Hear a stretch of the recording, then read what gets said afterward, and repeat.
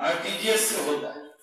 इसलिए लोगों को ये मानना चाहिए कि कहीं से भी ये भ्रम न पैदा हो कि कैश की कोई कमी।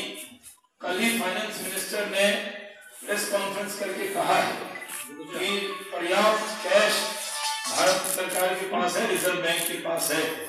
कैश की कोई कमी नहीं है, लेकिन हम लेस कैश का उपयोग हो ज़्यादातर ई ट्रांजेक्शन हो इसको बढ़ावा दे रहे हैं इसको कंपलसरी नहीं कर रहे किसानों को मुआवजा नहीं मिला मारपीट के लिए? सोशल मीडिया रिपोर्ट पे आपने गौर किया होगा ये जितने इनकम टैक्स के रेट हुए हैं ज़्यादा से ज़्यादा भाजपा के बड़े नेता पकड़े गए हैं। ऐसा कैसे हो गया?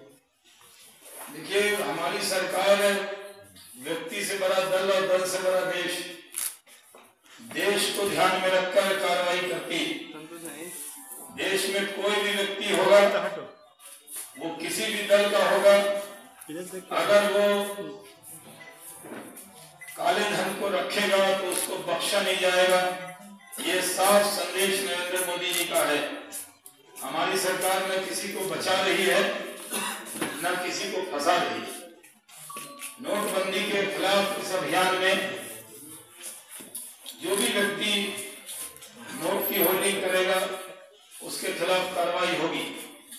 ये सही नहीं है कि सिर्फ़ बीजेपी के नेता का नाम आ रहा है। सर मुआवजा नहीं मिला किसानों को मारपीट में जो हुआ। कहाँ पे? सर जो मार रही सर उसको मुआवजा आने वाला था केंद्र सरकार की ओर से? ऐसा नहीं अभी तक नहीं आया लोग प्रदर्शन कर रहे हैं नहीं जो भारत सरकार की जो राशि होती है प्राकृतिक आपदा में वो राशि तय होती है। और उस राशि की एक प्रक्रिया होती है उसी प्रक्रिया के तहत राज्य सरकार को बांटना होता है और उसी हिसाब से केंद्र से वो रिलीज़ होता है। इसमें कहीं से कोई व्यवधान नहीं। जी जी आप इधर देख इधर देख।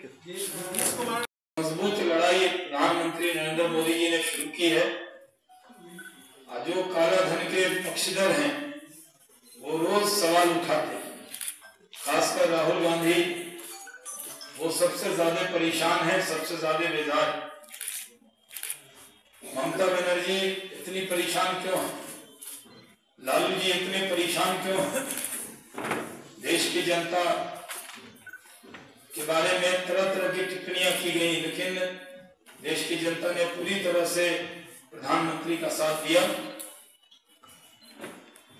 राहुल गांधी रोज कहते हैं कि मैं पहले उन्होंने कहा कि मैं बोलूँगा तो भूकंप आ जाएगा।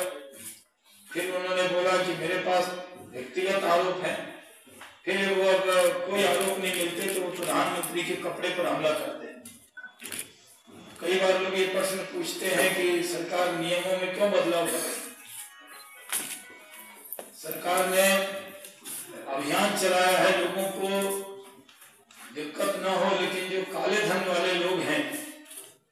किसी नियम का दुरुपयोग न करें, इसलिए सरकार ने कई नियम में परिवर्तन किए। पूरे दुनिया में भारत के इस कदम की प्रशंसा हुई और 30 तारीख के बाद बहुत सारी सुविधाएँ देश के लोगों को मिलने वाली हैं, जो अपेक्षा और सहयोग लोगों ने दिखाया है। भारतीय जनता पार्टी बिहार की जनता का और देश की जनता का आभार व्यक्त करती है। हम ये मानते हैं कि जो ट्रेडर्स हैं, उनको कम, से कम इंटरेस्ट पर लोन मिलेगा। जो लोग खासकर सोशल सेक्टर में एग्रीकल्चर में किसानों के लिए काफ़ी बड़ी सुविधाएँ सुविधा आने वाली। इसलिए हम ये मानते हैं कि इतने दिन की सब्र के बाद देश के लोगों का सब्र का पैमाना बहुत भड़काने के बाद भी लवरेज नहीं हुआ और लोगों ने साथ दिया। एक बड़े अभियान की सफलता की तरफ़ भारत सरकार कर रही है।